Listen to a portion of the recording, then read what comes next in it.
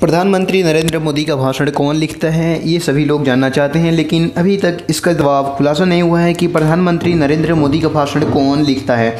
आखिर क्या है इसके पीछे का राज? आप लोगों ने तो कई बार देखा होगा कि वो अदर अदर स्टेट में जाते हैं, यानी कि अलग अलग स्टेट में जाते हैं तो वहाँ के कभी कभी लोकल लैंग्वेज भी बोलते हैं।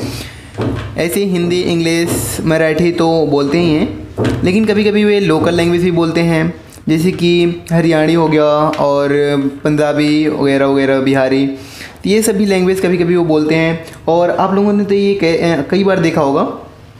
और हम लोगों ने तो ये कई बार देखा है कि वे कभी कभी शिक्षा के क्षेत्र में तो कभी कभी कृषि के क्षेत्र में, यानी अलग अलग एरियाज़ में अलग अलग क्षेत्र के भाषण अलग अलग जगहों पर वे देते हैं।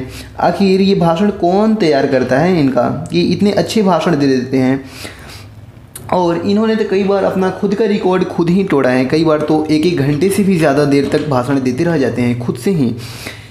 सो so, क्या है इसके पीछे का राज? आखिर कौन तैयार करता है इनका भाषण जो इतने अच्छे से ये दे पाते हैं आखिर?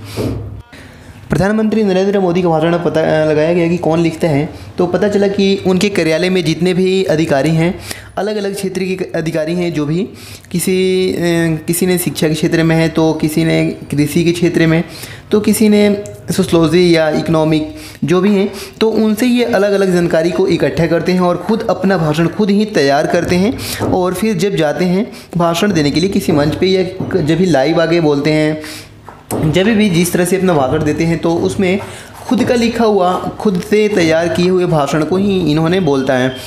तो अपना भाषण खुद ही इन्होंने तैयार करते हैं। ये बात को कन्फर्म पता चल गया है कि प्रधानमंत्री नरेंद्र मोदी अपना भाषण खुद ही तैयार करते हैं और जब भी वे दूसरे स्टेट में यानी कि अदर स्टेट में जाते हैं तो वहाँ के लोकल लैंग्वेज भी बोलते हैं। अदर अदर जगहों पे अदर अदर लैंग्वेज में बोलते हुए हम लोगों ने देखा है। सो so, इसका पता ये चल गया है कि इसकी जानकारी अपने कार्यालय के अधिकारियों से ये लेते हैं लेकिन अपना भाषण खुद ही तैयार करते हैं। सो so, ये फेक जानकर के आपको कैसा लगा नीचे कमेंट सेक्शन में बताना बिल्कुल मत भूलना।